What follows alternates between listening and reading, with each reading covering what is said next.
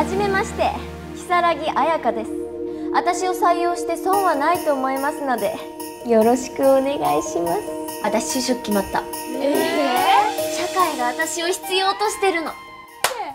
新卒の如月彩香。ゆうお前舐めてんの？今日から新しく翔平さんのアシスタントで入った。新人です。昼飯買ってこい。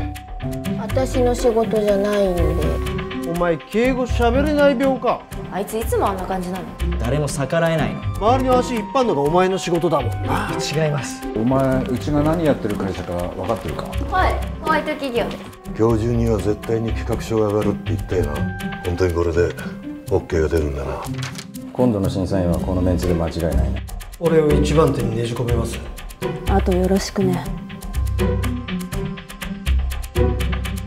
100歩譲ってご飯は買いに行くけど私あんたの奴隷じゃないんです。そこまで面倒見れないです。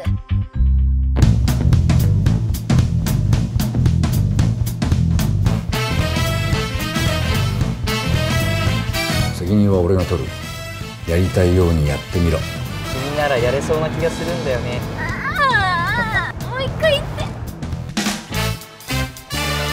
ここじゃ誰が将軍様なんだ？翔平さんが白といえば黒いものも白になるから。なんかめんどくさ。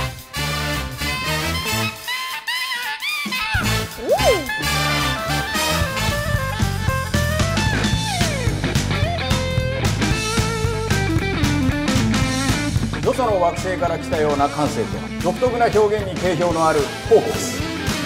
おイエスイエス。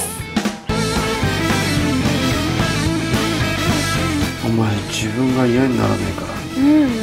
大好きです。